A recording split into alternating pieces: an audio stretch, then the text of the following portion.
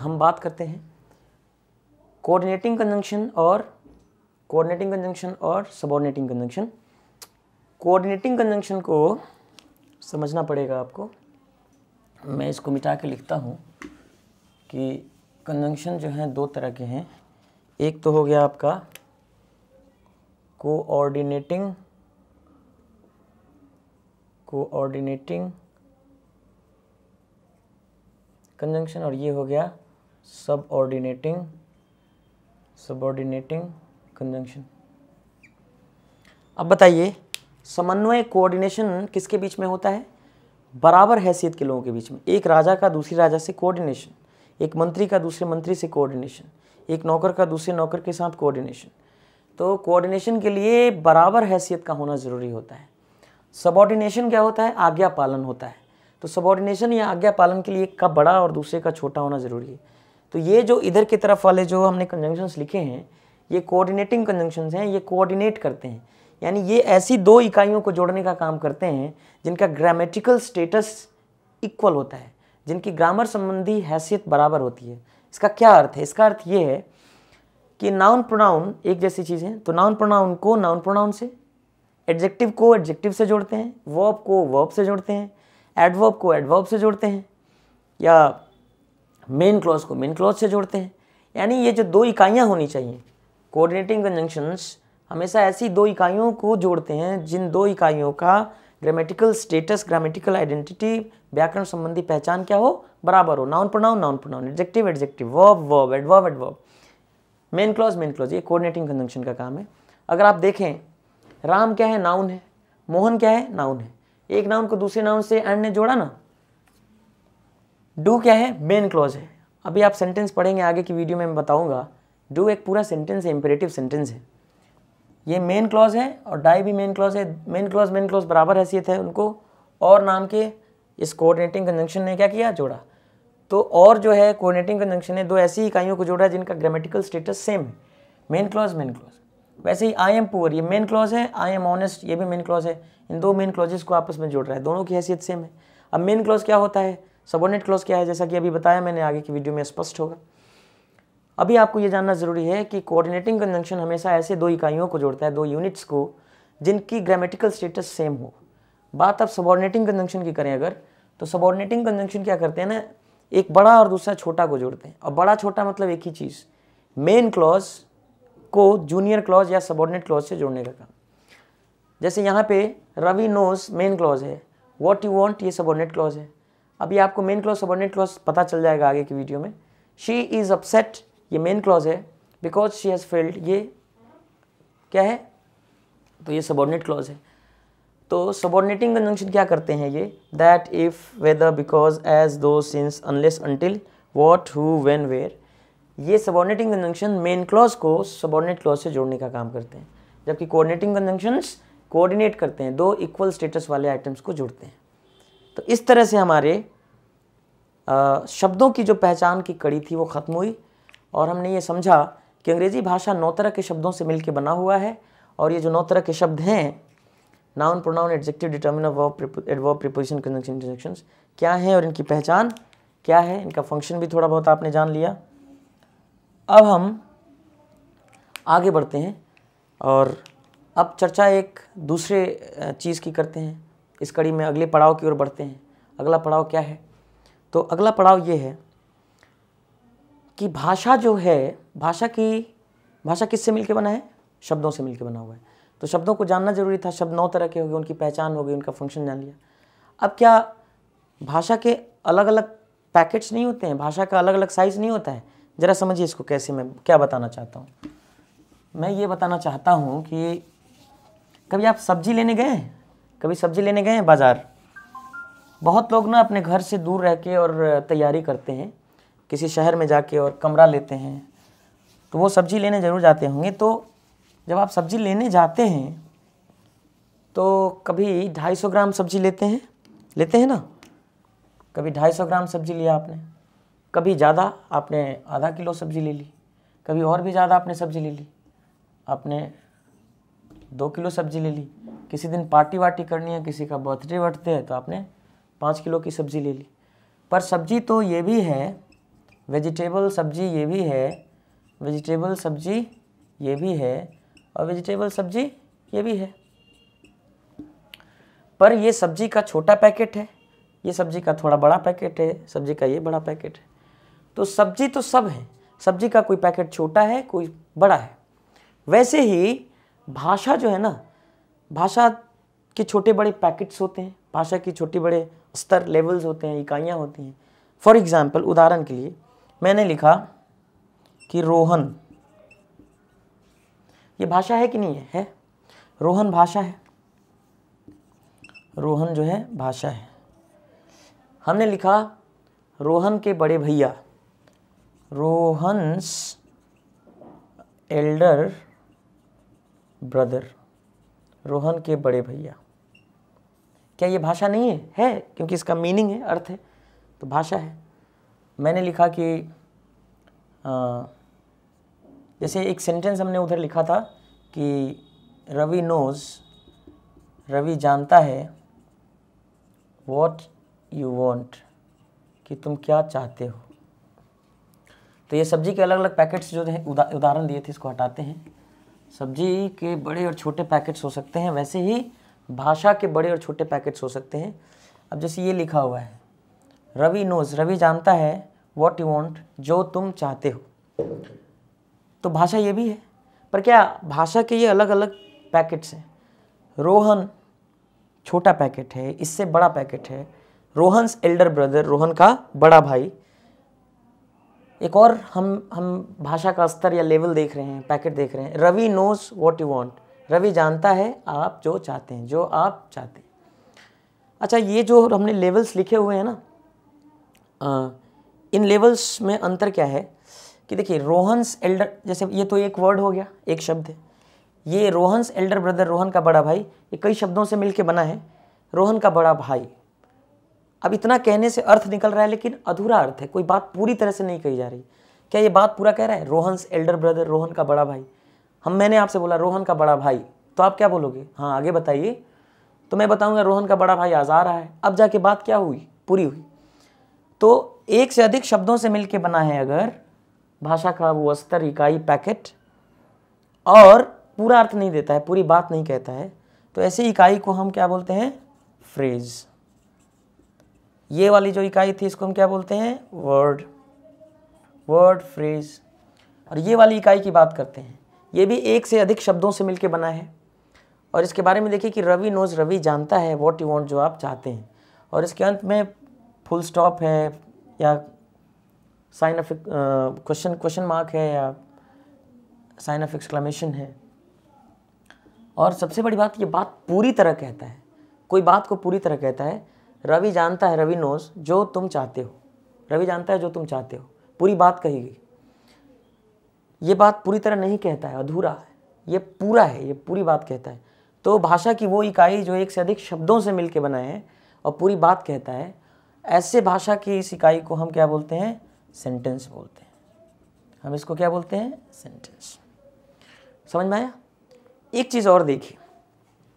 Ravi nose Ravi जानता है। अब केवल मैं इस पार्ट को लूँ अगर, कि रवि नोज़ सिर्फ़ इस पार्ट को लिया जाए, कि रवि नोज़, रवि जानता है। तो ये क्या है कि इसमें सब्जेक्ट है रवि, नोज़ है, जानता है वो। एक चीज़ आपको और बता दें, हालाँकि आगे चल के बताना होगा, अच्छे से बताएँगे, कि जो सेंटेंस होता है ना उसमें सब्जेक्ट होता है, एक वर्ब होता है। सब्जेक्ट वर्ब क्या होता है? पता चल जाएगा। रवि नोज़ जानता है, रवि सब्जेक्ट होता है और नोज़ जानता है वर्ब होता है। चलिए छोड़िए।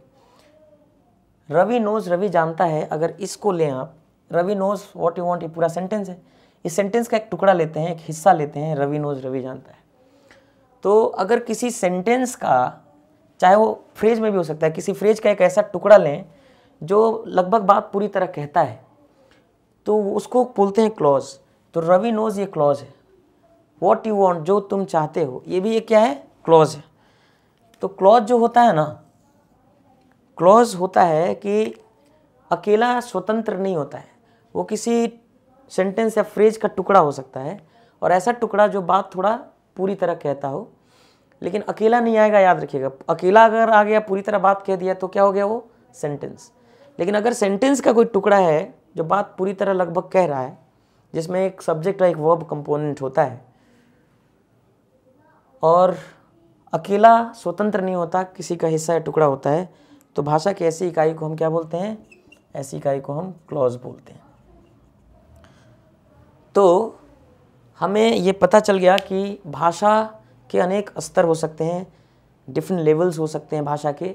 भाषा में अनेक इकाइयाँ हो सकती हैं छोटी बड़ी तो भाषा की सबसे छोटी इकाई क्या है? वर्ड भाषा की उससे बड़ी इकाई फ्रेज उससे बड़ी इकाई क्लॉज और उससे बड़ी इकाई सेंटेंस तो अब हम इसको लिख सकते हैं कि लेवल्स ऑफ़ भाषा के लेवल्स ऑफ़ द लैंग्वेज भाषा के अलग स्तर क्या क्या है?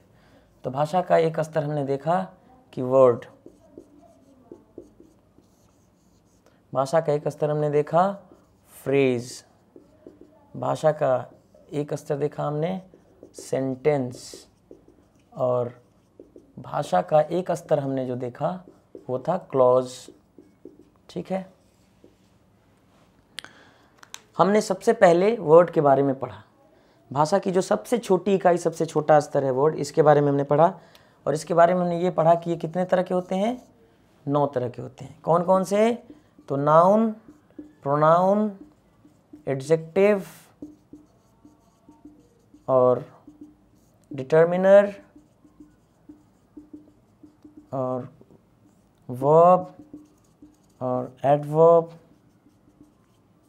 और प्रपोजिशन और कंजंक्शन और इंटरजक्शन और ये जो नौ तरह के शब्द हैं इन शब्दों से मिलकर पूरी भाषा बनी होती है। नौ तरह के शब्दों के बारे में हमने पढ़ा। इन सब के बारे में परिचय हमने प्राप्त किया। इनका काम, इनका पहचान, इनका स्वभाव क्या है? अब हम आगे बढ़ते हैं और हम पढ़ते हैं phrase phrase three plus one क्या मुझे मैथ्स नहीं आता है? मैं ऑल इंडिया टॉपर ऐसे तो थोड़ा नहीं हुआ ना? मैथ्स तो मैंने किया होगा ना? मैथ्स आता है। थ्री प्लस वन फोर होता है, मुझे पता है। बावजूद इसके मैंने इसको अलग अलग लिखा है, उसका रीज़न है, उसका कारण है, वो आपको पता चल जाएगा। फ्रेजेस कितने तरह के होते हैं? तो तीन और एक चार तरह के। कौन कौन से? तो नाउन फ्रेज फ्रेज के लिए मैंने चलिए पूरा लिख देते हैं। नाउन फ्रेज एडजेक्टिव फ्रेज और एडवर्ब फ्रेज और चौथा होता है। प्रीपोजिशन फ्रेज तो ये आपके फ्रेजेज हो गए चार तरह के। तो इन अब चार तरह के फ्रेजेस की पहचान और इनका फ़ंक्शन अब हमें ये जानना होगा। तो नाउन फ्रेज क्या है एडजेक्टिव फ्रेज क्या है एडवर्ब फ्रेज क्या है प्रपोजिशन फ्रेज क्या है, आइए जानते हैं इसके बारे में। हम इनके बारे में तो जान ही चुके हैं। तो अभी इनको मिटा देते हैं और ज़रा देखते हैं। मैं लिखता हूँ। कुछ फ्रेजेस को देखिएगा। The king of the king of Egypt Egypt किसको बोलते हैं? मिश्र एक देश है ना? तो द किंग ऑफ़ इजिप्ट का मतलब हो गया। इजिप्ट का राजा, है ना? माई एल्डर ब्रदर मेरे मेरे बड़े भाई। The boy who won the first prize. लड़का जिसने पहली पुरस्कार जीती। अ गर्ल विदाउट हैंड्स एक लड़की जिसका कोई हाथ नहीं था। बिना हाथों वाली लड़की। ऑल माई ड्रीम्स मेरे सारे सपने।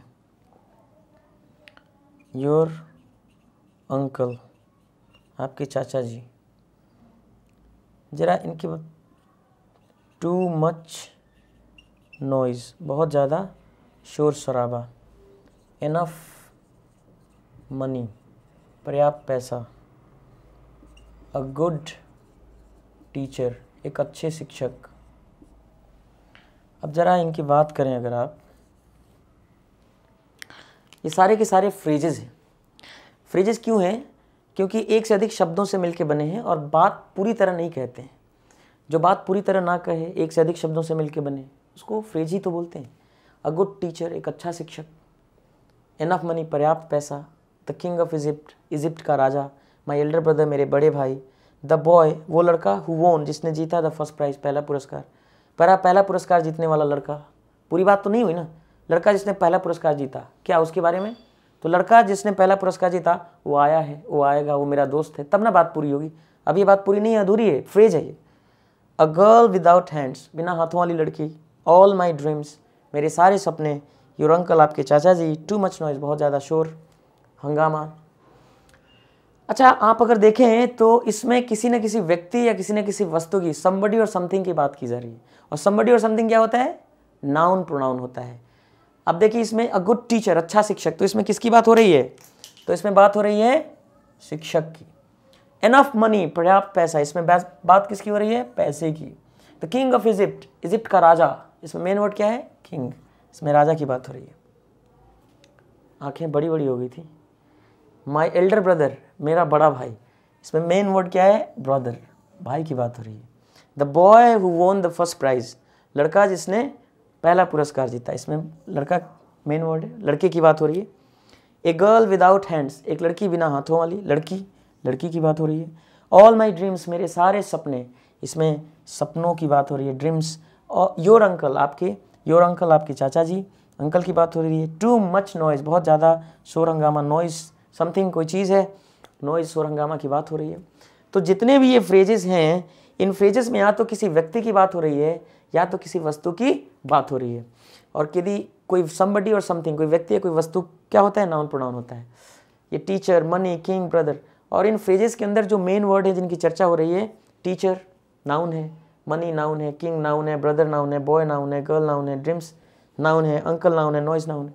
तो ऐसे फ्रेज जिनके मेन वर्ड नाउन हो, जिन, जिस फ्रेज में किसकी चर्चा हो? किसी व्यक्ति, वस्तु की चर्चा हो, ऐसे फ्रेज को हम नाउन फ्रेज बोलते हैं। इनको क्या बोलते हैं हम? Noun phrase. तो ये आपके रहे नाउन फ्रेज। ये हमने नाउन फ्रेजेस की एग्जांपल्स दिए हुए हैं। तो एक फ्रेज हो गया कि नाउन फ्रेज नाउन फ्रेज की पहचान हो जाएगी। नाउन फ्रेज में मेन वर्ड नाउन होगा। नाउन फ्रेज हमेशा किसी व्यक्ति वस्तु के बारे में बातचीत करेगा।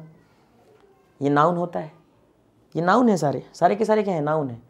चूँकि एक से अधिक शब्द से मिलकर बने इसलिए इन्हें फ्रेज बोलते हैं। तो है नाउन पर नाउन वर्ड ना हो नाउन फ्रेज बोलेंगे। ये नाउन है। समझ रहे ना? इसमें किसी व्यक्ति वस्तु की बात हो रही है। नाउन फ्रेज है। अब हम बात करते हैं एडजेक्टिव फ्रेज की।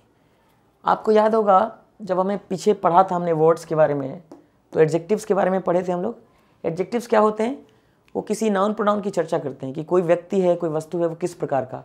लंबा, चौड़ा, ऊँचा, नीचा, गरीब, अमीर, मज़बूत, कमज़ोर, लाल, पीला, उजला, सांवला अच्छा बुरा। ये शब्द क्या होते हैं? एडजेक्टिव फ्रेज होते हैं। अब मैं समझाता हूँ आपको एडजेक्टिव फ्रेज एडजेक्टिव फ्रेज के कुछ एग्जाम्पल्स लिखते हैं। मैं इसको मिटा दूँ? है ना? मैं इसको मिटा दूँ?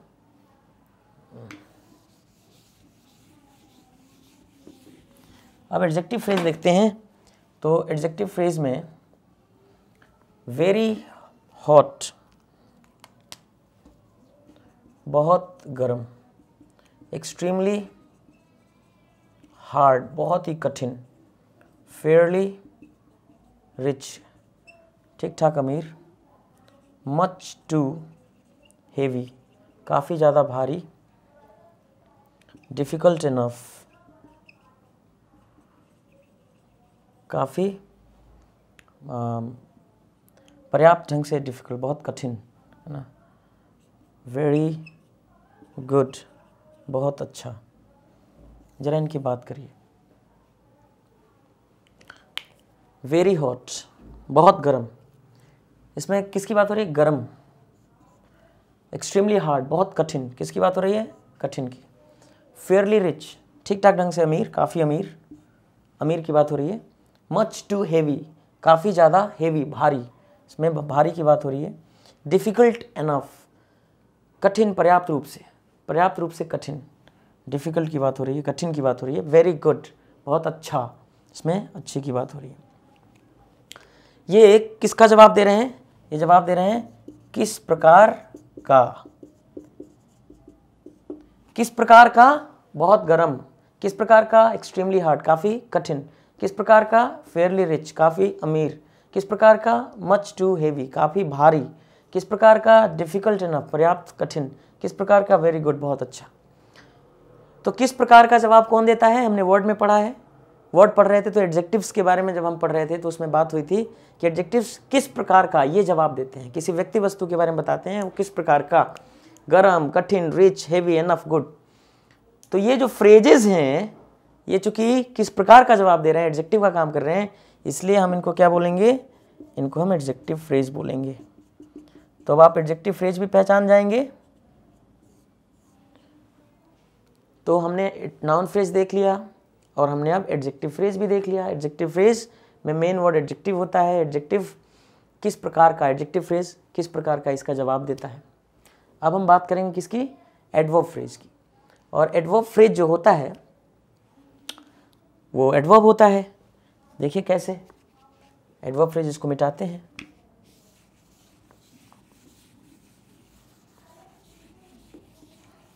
आपने एडजेक्टिव फ्रेज में एक चीज़ देखा होगा एडजेक्टिव फ्रेज में, कि मेन वर्ड एडजेक्टिव फ्रेज में एडजेक्टिव था और उस एडजेक्टिव के बारे में चर्चा करने के लिए एडवर्ब्स आए हुए थे। तो अभी हमने चर्चा किया पीछे शब्दों के बारे में कि जब भी हम एडजेक्टिव की चर्चा करते हैं तो एडजेक्टिव की चर्चा करने वाले एडवर्ब होते हैं। खैर, वो पीछे की बात है। फ़िलहाल हम एडवर्ब फ्रेज की बात कर रहे हैं। कि एडवर्ब फ्रेज कैसा होता है? इसके मैं एग्जाम्पल्स लिखता हूँ। एडवर्ब फ्रेज के, है ना? जस्ट नाउ बिल्कुल अभी राइट देर बिल्कुल वहीं वेरी ऑफ्टन अक्सर वेरी स्लोली बहुत धीरे धीरे much too much too slowly बहुत धीरे धीरे एक्सट्रीमली फास्ट काफ़ी तेज़ी से है ना? वेरी वेल काफ़ी अच्छे ढंग से। आ, और क्या बात करें? तो थ्री डेज़ अगो तीन दिन पहले। ज़रा देखिए इन फ्रेजेस को। इन फ्रेजेस को ज़रा देखिए जस्ट नाउ बिल्कुल अभी। ये किस चीज़ का जवाब दे रहा है? कब? कब भैया? जस्ट नाउ बिल्कुल अभी। कहाँ? राइट देर बिल्कुल वहाँ। कब? कितनी बार? वेरी ऑफन प्रायः, अक्सर वेरी स्लोली किस ढंग से, किस ढंग से तो वेरी स्लोली बहुत धीरे धीरे किस ढंग से तो मच टू स्लोली बहुत ही ज़्यादा धीरे धीरे किस ढंग से, किस ढंग से तो एक्सट्रीमली फास्ट बहुत तेज़ी से फास्ट एडवर्ब होता है एक्सट्रीमली फास्ट बहुत तेज़ी से, किस ढंग से तो वेरी वेल काफ़ी अच्छे से। कब? थ्री डेज़ अगो तीन दिन पहले। आप देखिए इन फ्रेजेस को। फ्रेज इसलिए क्योंकि अधूरे हैं, पूरी बात नहीं कहते हैं। और ये फ्रेज ऐसे हैं जो कब, कहाँ, किस ढंग से, क्यों, कितनी बार आदि का जवाब दे रहे हैं। तो कब, कहाँ, क्यों, किस ढंग से का जवाब देता है, उसको एडवर्ब बोलते हैं। पीछे हमने पढ़ा था कि एडवर्ब्स जो होते हैं, ऐसे शब्द होते हैं जो कब, कहाँ, क्यों, किस ढंग से का जवाब देते हैं। तो जब ये कब, कहाँ, क्यों, किस ढंग से का जवाब दे रहे हैं, यानी एडवर्ब है, और चूँकि ये फ्रेज हैं, इसलिए हम इनको एडवर्ब फ्रेज बोलेंगे। तो ये हो गया एडवर्ब फ्रेज एडवर्ब फ्रेज और एडवर्ब फ्रेज जो होते हैं, वो कब, कहाँ, क्यों, किस ढंग से का जवाब देते हैं। जस्ट नाउ बिल्कुल अभी अभी राइट देर बिल्कुल वहीं वेरी ऑफन अक्सर वेरी स्लोली बहुत धीरे धीरे मच टू स्लोली बहुत धीरे धीरे एक्सट्रीमली फास्ट बहुत तेज़ी से एक्सट्रीमली वेल बहुत ही अच्छे से थ्री डेज़ अगो तीन दिन पहले। वैसे, अगर आप देखें तो इन फ्रेजेस के अंदर जो मेन या लीडिंग वर्ड होगा हेड वर्ड होगा, वो now there often slowly fast well ago ये एडवर्ब्स होते हैं। तो एडवर्ब फ्रेज में मेन या लीडिंग वर्ड एडवर्ब होता है, और सबसे बड़ी बात एडवर्ब फ्रेज की पहचान, कि एडवर्ब फ्रेज जो होता है ना, वो कब, कहाँ, क्यों, किस ढंग से, किस लिए, कितनी बार आदि का जवाब देता है। तो ये आपके रहे एडवर्ब फ्रेज तो noun phrase adjective phrase adverb phrase तीन तरह के फ्रेज पढ़ लिए अपने, हमने। अब हम क्या देख रहे हैं कि नाउन फ्रेज तो नाउन होता है। किसी व्यक्ति या वस्तु का बोध कराता है। एडजेक्टिव फ्रेज किस प्रकार का, इसका जवाब देता है। चर्चा करता है किसी नाउन प्रोनाउन को किस प्रकार का। एडजेक्टिव का काम करता है। एडवर्ब फ्रेज कब, कहाँ, क्यों, किस ढंग से का जवाब देता है। ये एडवर्ब का काम करता है एडवर्ब फ्रेज होता है। लेकिन मैंने अलग से लिखा है प्रिपोजिशन फ्रेज क्योंकि noun phrase adjective phrase adverb phrase अपने नाम के हिसाब से काम करते हैं। नाउन फ्रेज नाउन का काम करता है एडजेक्टिव फ्रेज एडजेक्टिव का काम करता है एडवर्ब फ्रेज एडवर्ब का काम करता है। लेकिन प्रेपोजिशन फ्रेज प्रेपोजिशन का काम नहीं करता। प्रेपोजिशन फ्रेज एक्चुअली या तो किसी एडवर्ब का काम करता है या किसी एडजेक्टिव का काम करता है। इसीलिए मैंने इसको अलग से लिखा है। नाम प्रेपोजिशन फ्रेज है पर काम प्रेपोजिशन का नहीं है। काम किसी एडवर्ब या एडजेक्टिव का है। प्रेपोजिशन फ्रेज किसको बोलते हैं? कैसे होते हैं? आइए इनको देखते हैं हम लोग। प्रेपोजिशन फ्रेज जो होता है, वो अभी जब हम प्रेपोजिशन पढ़ रहे थे तो प्रेपोजिशन में हमने क्या देखा था? कि जैसे इन द रूम कमरे में अ गर्ल एक लड़की विद टू हैंड्स नहीं सॉरी टू हैंड्स होते हैं। विदाउट हैंड्स बिना बाहों वाली लड़की, है ना? The king of the king of Pataliputra Pataliputra का राजा, है ना? विद केयर विद केयर मतलब सावधानी से, ठीक है? और ऑन मंडे वो आएँगे मंडे को आएँगे। ये प्रपोजिशन है। ये प्रपोजिशन है प्रपोजिशन है प्रपोजिशन है प्रपोजिशन ठीक है जी? तो ये आपके प्रपोजिशन हो गए।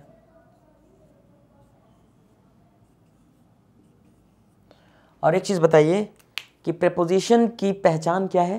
तो प्रपोजिशन की पहचान ये है कि प्रपोजिशन के बाद हमेशा क्या आते हैं? नाउन या प्रोनाउन आते हैं। तो अभी जैसे एक एग्ज़ाम्पल और लिखते हैं। अ गिफ्ट एक उपहार फॉर यू आपके लिए। इसमें फॉर क्या है? तो फॉर एक प्रपोजिशन है। प्रपोजिशन ऑन है। प्रपोजिशन के बाद नाउन प्रोनाउन आता है। तो ऑन प्रपोजिशन के बाद नाउन क्या आया मंडे दिन का नाम है। इन के बाद प्रपोजिशन क्या आया रूम किसी चीज़ को रूम बोलते हैं ना। विदाउट हैंड्स हैंड्स क्या है? नाउन है। किसी चीज़ का नाम है। ऑफ़ क्या है? प्रपोजिशन इसके बाद पाटलिपुत्र जगह का नाम है। नाउन है। विथ केयर केयर मतलब सावधानी। एक चीज़ है। सावधानी। तो प्रपोजिशन के बाद एक नाउन आया है। फॉर फॉर के बाद यू प्रोनाउन आया है। तो प्रपोजिशन की पहचान यही है कि प्रपोजिशन के बाद हमेशा कोई नाउन या प्रोनाउन आता है। और यही जो नाउन और प्रोनाउन आते हैं ना, और ये प्रपोजिशन ये साथ में मिलके प्रपोजिशन फ्रेज कहलाते हैं। ऑन मंडे प्रपोजिशन फ्रेज है। In the room preposition phrase है। विदाउट हैंड्स बिना बाह के प्रपोजिशन फ्रेज है। ऑफ़ पाटलिपुत्रा ये प्रपोजिशन फ्रेज है. विद केयर ये प्रपोजिशन फ्रेज है. यू फॉर यू ये क्या है? प्रपोजिशन फ्रेज है. तो प्रपोजिशन फ्रेज में प्रपोजिशन होता है और उसके बाद आने वाला उसका नाउन या प्रोनाउन आता है. उनको हम प्रपोजिशन फ्रेज बोलते हैं. प्रेपोजिशन फ्रेज एडवर्ब का या एडजेक्टिव का काम करता है. कैसे? आप जरा देखिए. ऑन मंडे कब? कब? तो सोमवार को. कहा? तो इन द रूम कमरे में तो कब और कहाँ का जवाब कौन देता है? एडवर्ब तो ये एडवर्ब का काम कर रहा है कि नहीं? ये एडवर्ब का काम कर रहा है कि नहीं कर रहा है? प्रेपोजिशन फ्रेज यहाँ देखिए विदाउट हैंड्स बिना हाथों वाली, ये क्या है? प्रेपोजिशन फ्रेज लड़की की चर्चा कर रहा है। गर्ल क्या है? गर्ल गर्ल नाउन है। और नाउन की चर्चा करने वाला, लड़की की चर्चा, लड़की किस प्रकार की? तो विदाउट हैंड्स किस प्रकार की? किस प्रकार की और किस प्रकार की चर्चा जो करता है उसको क्या बोलते हैं हम? एडजेक्टिव बोलते हैं। तो इधर देखिए एडवर्ब का काम कर रहे हैं, इधर ये एडजेक्टिव का काम करने लगा। राजा नाउन है। नाउन के बारे में चर्चा करने वाला एडजेक्टिव होता है। किंग किस प्रकार का? तो किंग ऑफ़ पाटलिपुत्रा पाटलिपुत्रा का। तो नाउन है राजा, उसकी चर्चा करने वाला प्रिपोजिशन फ्रेज बता रहा है कि राजा किस प्रकार का। तो किस प्रकार का जो बताए वो क्या होता है? एडजेक्टिव होता है। उसी तरह से विद केयर किस ढंग से? तो सावधानी से। तो ये बता रहा है किस ढंग से? सावधानी से। विद केयर तो किस ढंग से जो जवाब देता है वो क्या होता है? एडवर्ब होता है। तो ये आपका एडवर्ब हो गया, है ना? गिफ्ट उपहार। किस प्रकार का उपहार? फॉर यू आपके लिए। तो ये प्रपोजिशन फ्रेज है, जो किसी नाउन की चर्चा कर रहा है गिफ्ट के बारे में बता रहा है, कि गिफ्ट किस प्रकार का? तो फॉर यू आपके लिए। तो गिफ्ट किस प्रकार का? तो आपके लिए। तो किस प्रकार का जो जवाब दे वो क्या होता है? वो एडजेक्टिव होता है। तो आप क्या देख रहे हैं? कि जो प्रेपोजिशन फ्रेज हैं, या तो कब, कहाँ, किस प्रकार का, किस ढंग सॉरी कब, कहाँ, किस ढंग से का जवाब देना एडवर्ब का काम कर रहे हैं?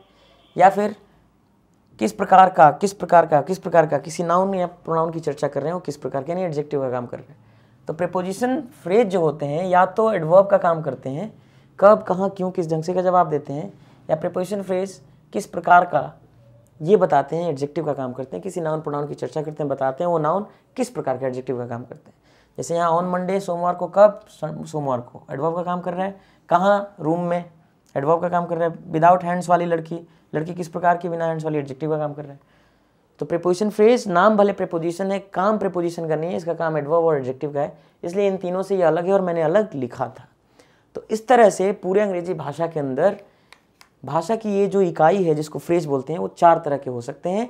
नाउन फ्रेज एडजेक्टिव फ्रेज और एडवर्ब फ्रेज तो फ्रेज के बारे में भी आप आपने समझ लिया।